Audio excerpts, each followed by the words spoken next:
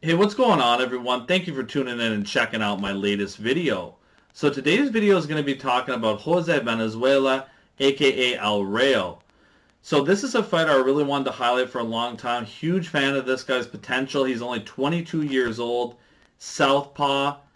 He's a fighter who's 5'11", fighting at 135 pounds, so that is unbelievable.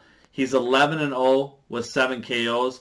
So when I look at Jose, the reason why I wanted to profile him, one of my favorites to watch, and ultimately I believe this guy is going to be a world champion. And let's get right into the start of his career, how he's going to progress, and why I think it's so important the team he is with. So Jose Valenzuela, guys, he's originally born in Sinaloa, Mexico. And when you look at him fight, he's got that classic Mexican style where he loves to fight aggressive, walks forward, He's got excellent endurance so far I've seen in his professional fights. He's a fighter who has power in both hands. And ultimately, guys, when I talk about his coaching team right now, you have Jose Benavidez Sr., who is an outstanding coach in my opinion. He doesn't get enough credit from the boxing media and writers. This is a guy who's built David Benavidez, world champion David Benavidez, who potentially down the road will fight Canelo Alvarez who has an elite style. He's going to be fighting David Lemieux in his next fight, David Benavidez. Going to be an absolute war. I cannot wait for that fight. But this is a world-class fighter, and he's built him from the ground up. And then you look at his other son, Jose Benavidez Jr., this guy was sparring Manny Pacquiao at 16 years old. So, I mean, elite talent. He's a guy that people were talking about when he was a teenager, uh, about the skills he possessed. They couldn't believe it. And Jose Benavidez Sr., has trained both of these guys since they're a kid. He raised them to the fighters that they are now today. Um, extremely impressive, and I just got to give him a big shout out because I don't think he gets enough credit. It's so hard to build a fighter from that early point to where they are right now, and he's been the only coaches for both of them. So unbelievable. He does a great job getting them good sparring too with all world class gyms.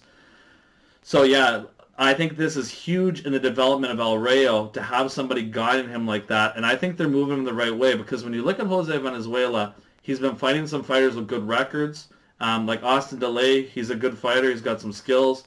And Jose Valenzuela absolutely destroyed him in four rounds. He must have hurt the guy 10 times in the fight. It was unbelievable. Um, against a fighter of Austin Dulay's caliber, this guy's no pushover. And then he had Barrio, also another inexperienced fighter who El Rayo fought as well. And these are early on in his career. I mean, the guy's only 11 and 0 so far, and he's fighting these type of caliber fighters with good records. And ultimately, that's what he needs to progress himself. So I think that's awesome, awesome on the Benavidez team that they're moving him around appropriately, so that ultimately when he steps up, um, we've seen some question marks already checked off. Like for example, I've seen him take some huge shots already. I've seen his power in the late rounds is still prevalent. He has good cardio. I've seen his, you know what I'm saying? Like a lot of these things are already checked off his list. Whereas some prospects, when they get to a stage where they got 20 fights, 25 fights, where they fought absolutely no one leading up to that point, when they get on one test where they get hit hard two or three times, they fold. Jose Valenzuela, we've already seen he's a goods in that department so far in his career, and I like that because we've already seen some experience in him that he's had to overcome some things. Now, when I look at El Rayo as a fighter, this is a guy who vicious power in both hands.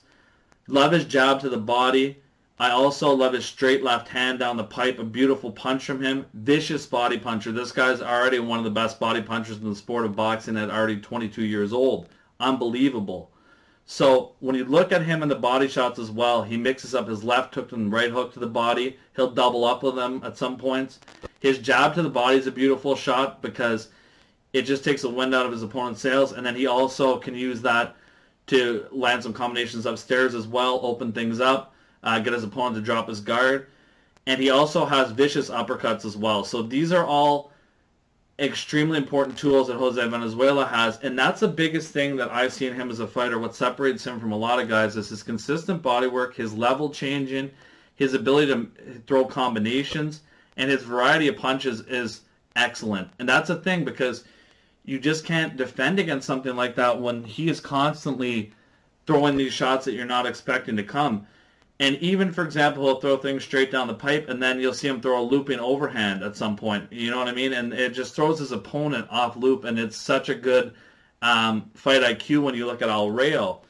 I also have seen him as well um, in his sparring session, actually on Fight Hype, he was sparring three different guys, and I was kind of interested because most of his fights, if you watch him, he's always backing his opponent down. Rarely is he ever backed up, and I said to myself, I wonder, can this guy fight off the ropes or anything you like that? Because I've never seen it really in a fight.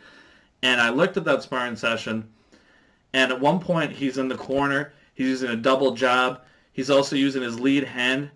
Um, is a rangefinder and he's pull, pushing his opponents out of the way. He's he's circling and he's got you know with different movement. And I just thought defensively, I was really impressed by some of the maneuvers he was showing and sparring, and that was something I hadn't seen him do in fights, and that was very impressive to me.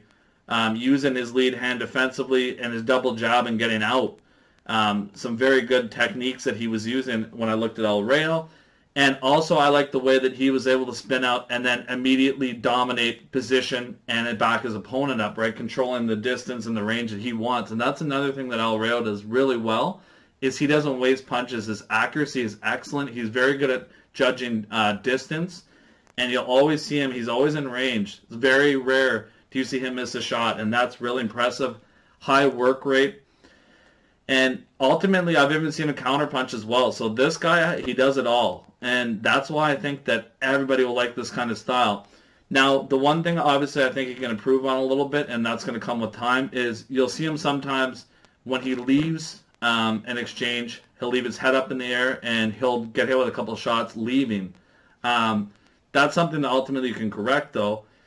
And the thing that I also like about that is I, I also know that he can take a punch because he's been hit pretty good and he's showing that chin. So that's definitely something good that we can say, okay, well, he's been through some adversity, he's taken some shots, and not only does he take these shots, he comes back and he's going to hit you with about eight uh, punches later. So when I look at El Rayo, just an extremely skilled fighter.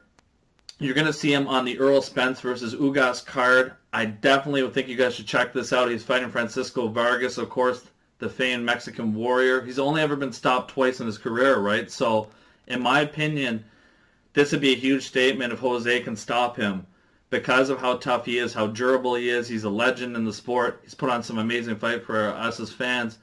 And if Jose can go out there and take him out, that's going to be a huge statement. Ultimately, guys, I see him actually getting the stoppage over Francisco Vargas, which is impressive. And I can't wait to see what's going to be next for the future of El Rayo. Definitely check him out. Future champion at 135. Diverse set of skills, guys. This guy does it all. Great team behind him. And his team, the thing I like about them, they're old school. They want challenges. These guys aren't going to throw you in there just to pad your record. They want challenges for him, and they want for all their fighters. So I really appreciate that as a boxing fan. And like I said, guys, El Rayo, check him out. 22 years old, guys. Unbelievable talent. Hope you guys enjoyed the video. Thank you very much for tuning in. If you haven't done so, please subscribe. Thank you very much, guys. Last fight, like I mentioned, June 23. He lands a good series of punches there. 2019, getting a Oh, down goes Clark. He's out. Oh, wow. What a left here by Valenzuela. Oh, he's not getting up. It's over. It's all over. Didn't need those extra two rounds. Jose Rayo Valenzuela striking like lightning here tonight at the Staples Center. Getting his second knockout of his career.